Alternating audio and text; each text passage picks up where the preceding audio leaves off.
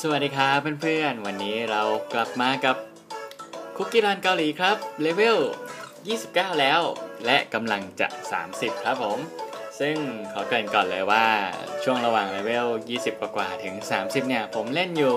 2 ด่านเท่านั้นครับ ก็เล่นด่าน ก็คุ้มทรัพย์โจรสลัดนะครับ เล่นจนกุญแจหมดแล้วหมดอีกเพื่อเก็บเหรียญครับ อ่าก็สลับกับสลับกับเกาะแรกครับ เกาะแรกเนี่ย ที่เลเวลผมมาได้เร็วขนาดนี้ผมใช้เซตนี้ครับสตรอเบอรี่กับอดอกไม้ copter ครับ ที่มี combo bonus เป็นบวก XP bonus 15%ครับนี่ครับ XP โบนัส 15%ซึ่งจะทำให้เราประหยัดเวลาขึ้นในการเก็บเลเวล และที่สำคัญครับ ผมมีไม้ 2 เป็นคุกกี้รสร่าเริงครับ ซึ่งจะบวก XP โบนัสอีก 12%ให้เพื่อนๆ ได้ XP โบนัสกันจุใจไปเลย แต่ข้อเสียครับเราต้องมีเงินซื้อเงินหาจากไหนไม่ยากครับ เงินซื้อก็คือเราใช้วิ่งผลัดแล้วก็ boost XP คูณ2ครับ ในการเก็บเลเวล เงินก็มาจากเกาะโจรสลัดนั่นแหละครับ ผมก็จะทำการ up level กันเดี๋ยวนี้เลย ไม่รอช้าแล้ว เรารอมานานแล้วที่จะได้ magnetic aura มาใช้ ก็มาดูกันครับว่าเล่นรอบนึงเนี่ย มันบวกสักกี่เปอร์เซ็นต์ เมื่อกี้ 97 97เปอร์เซ็นต์นะครับ เพื่อนๆคิดว่าผมอาจจะวิคิดว่าเซตนี้ไม่คุ้มอ่าถ้าเซตนี้ไม่คุ้มเนี่ย ก็เพื่อนๆอาจจะใช้โบนัส โบนัสหมีใหญ่ช่วยทดแทนสัก 2,000 อะไรครับ ให้มีเหรียญกลับมาบ้าง แต่ส่วนตัวผมคิดว่าการประหยัดเวลาครับ เป็นปัจจัยสำคัญในการเล่นครับ เพราะว่าเรามาเสียเวลาเล่นเกมนานๆ ไม่ใช่ครับ มันต้องถึงจุดหมายด้วยความเร็วครับ แต่อย่าลืมว่าต้องถูกกติกาด้วยนะฮะ ครับว่าเซตนี้มันจะไปได้ขนาดไหนก็เล่นท่านี้ก็ขอประทานอภัยด้วยนะครับ ถ้าผมฝีมือไม่เต็มร้อย ก็พยายามเล่นครับ เพราะว่าอันนี้ไม่ใช่ ถ้าเล่นที่ถนัดนะครับ เพราะว่าจะไม่สามารถโดดคลิก 2 นิ้วได้ ก็เดี๋ยวต้องฝึกนิดนึงอ่านโชว์ละทีหนึ่งแค่จะฝึกเท่านั้นแหละโอเคครับไม่เป็นไรครับ ยังไงเราก็ level up ครับเนี่ยครับ ถ้าเลือดน้อยพอตอนถึงตรงนี้ครับเจ้าสตรอเบอรี่ก็จะขึ้น bonus time หมีใหญ่ครับ แต่นี่เราเลือดไม่น้อยครับ เราเลือดเยอะ เราเน้น XP ไว้ก่อนเพื่อเพื่อนๆได้ดูว่า combo นี้จะ เก็บ XP ต่อตาเนี่ยได้เท่าไหร่ เพื่อนๆจะเล่นเลเวลหนึ่งเล่นสักกี่ตากันอะไรอย่างนี้ครับ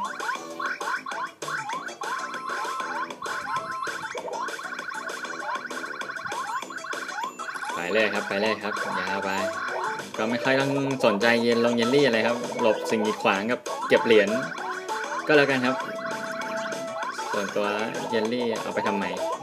ตอนนี้ก็ยังไม่เล่นเริ่มทำแต้มเลยครับ ก็แต้มอยู่ สี่ห้าล้านนี่ครับ จากการเล่นคอมโบเก็บ XP ครับ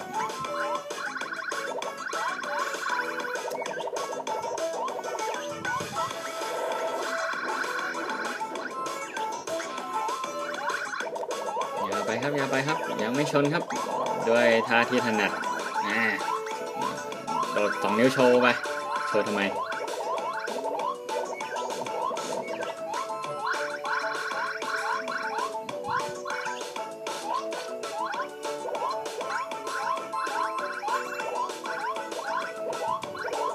กระโดดไม่ค่อยติดนะครับ มันไม่ถนัด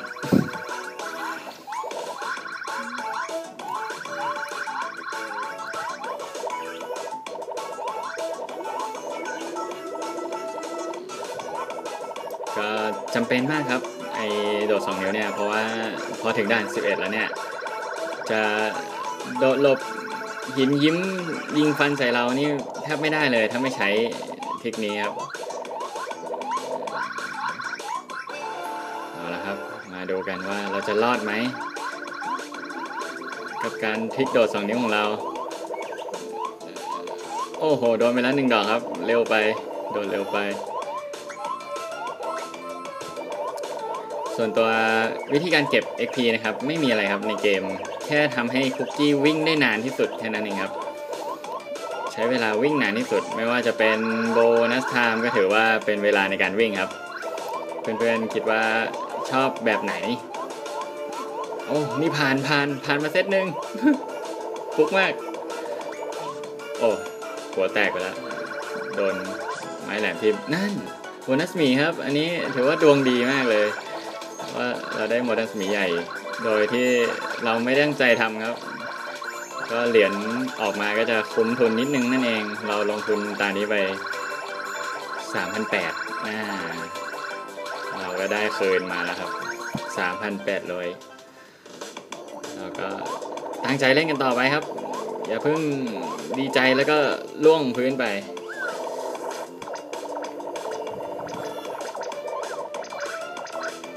น่ะชนกันไปก็เซตนี้คอมโบก็อยู่เราวๆแปดเก้าพันครับ ดวงดีถ้าไปถึงสะพานก็เป็นหมื่นครับ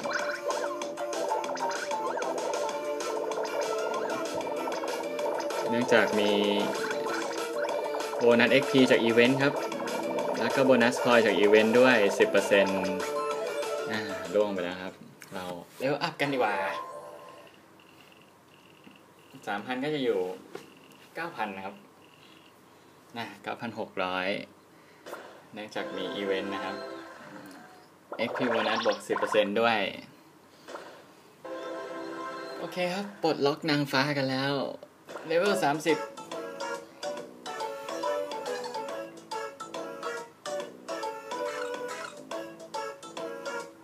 เนี่ยเราก็ไม่รอช้าครับ เราอยากได้มานานแล้ว เราก็ไปลุยกันเลย ก็ดูความสมดุลนะครับว่าเพื่อนๆเริ่มเก็บเหรียญมาตั้งแต่ เลเวลเท่าไหร่กว่าจะได้ เพื่อให้มาซื้อนางฟ้าได้พอดีครับ เพราะว่าเราก็ไม่ต้องเก็บไว้เยอะ หรือใครอยากเก็บไว้เยอะก็ได้ เพื่ออัพนางฟ้าเต็มแล้วก็ใช้ขนนกเลย ก็ว่ากันไป ซื้อเลย โอเคครับ เราได้นางฟ้ามาแล้ว เสร็จภารกิจขั้นแรกของเราไปแล้ว คราวนี้เรามาดูความคืบหน้าของเกมครับอ่า King Choco Drop ครับ เปิดได้มาจากการ เก็บผลึก เมื่อกี้สดๆร้อนๆเลยก่อนชุดชุดที่แล้วนี่เอง ก่อนที่ผมจะมาถ่ายคลิปนี่แหละครับก็ได้ชุดค่อนข้างดวงแย่ครับ ชุดหลังๆเลยขาดอีก4 ชุดก็จะเปิดได้ครบแล้ว เพิ่งได้ King Choco Drop มา ส่วนเพชรตัวอื่นๆก็ ไล่เปิดกล่อง แล้วก็จับเพชรลักกี้ดออย่างเดียวครับ โดยเฉพาะคลาส C นี่เปิดได้ตัวใหม่ปุ๊บ ไม่ต้องทำอะไรเลยครับ อัพให้เต็มครับจะได้เปิดได้ไม่ซ้ำอีกครับ เพราะว่า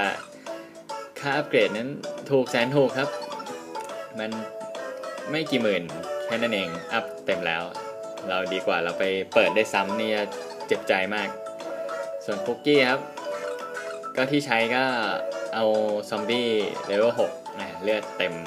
เลือดเต็มตันอยู่ที่ 150 ไปวิ่งดันโจนสลัดครับ แล้วก็ใช้คอมโบ XP โบนัสสตรอเบอรี่กับคุกกี้รสล่าเริงสองรสในการวิ่งด่านหนึ่งครับ ส่วน boost หัวใจและ bonus time ครับ ก็ถึง 60 แล้ว มีประโยชน์ยังไง ก็ อย่างที่บอกครับว่า XP bonus มันอ่าไม่ใช่การเก็บเลเวลเนี่ยก็ขึ้นอยู่กับเวลาในการวิ่งในด่าน